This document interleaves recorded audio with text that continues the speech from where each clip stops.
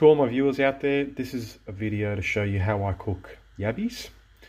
Now, you can either fill the pot full of water or just enough, depending on how much yabbies you have. Get it boiling, and as you're getting it boiled, you just put a lot of salt in there and you wait for the water to come to a boil. Now you might be wondering what's in this bowl. Well, it's the yabbies. And what I did last night, I made a nice slurry and I put the yabbies in there to knock them out. And the interesting fact about yabbies is, is that once they're in cold water, they go through a hibernation mode. It knocks them out, and that's what you do with crabs um, as well. So when you catch crabs, if you want to boil them, you first have to put in a nice slurry. But in this case, I put them in the fridge, and that knocks them out. And once the water starts to boil, um, pouring these guys in there, they won't even feel the pain. Um, they'll die instantaneously before even realizing that they're in a hot pot. So um, make sure that you put them in. I prefer to make a nice slurry and then putting them in the fridge um, 24 hours before you decide to cook them. And um, yeah, that's that's what you do before you start cooking the yabbies. Now my recipe's simple. I've got salt.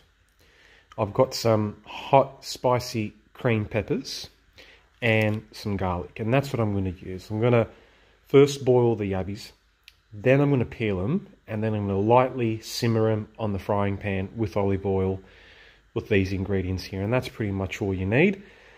Um, another thing with yabbies as well, they're great with stir fry. So you can mix them with uh, noodles or rice. But this way I'm just going to simmer them in, um, in, in, this, in these ingredients and have them on the side with flounder. Okay, so I've got my spicy hot cream pepper sauce in there. I've got garlic, a bit of soy sauce and olive oil. And I just mix it together till I get a nice consistency, spread the flavour around. And that's what I'm going to use to simmer my yabby meat in the frying pan.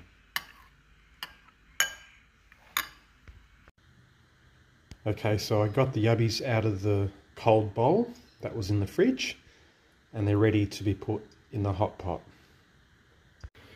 Now I'll cook the yabbies for a maximum of five minutes and after that I'll drain and then I'll put them in cold iced slurry so they don't keep cooking whilst they're hot.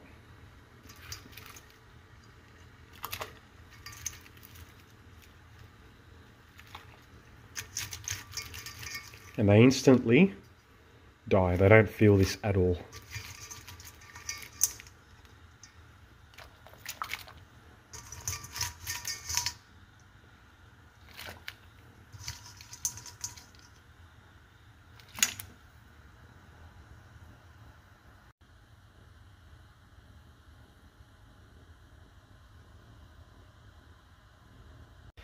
The yabbies have boiled well in the pot. Now to drain them and put them in the ice slurry.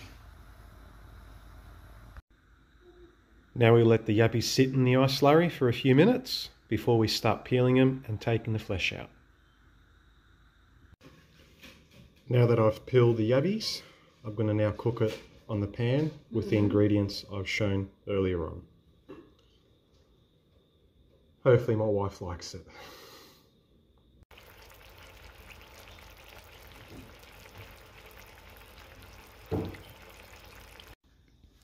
And there we have it, finished cooked yabby.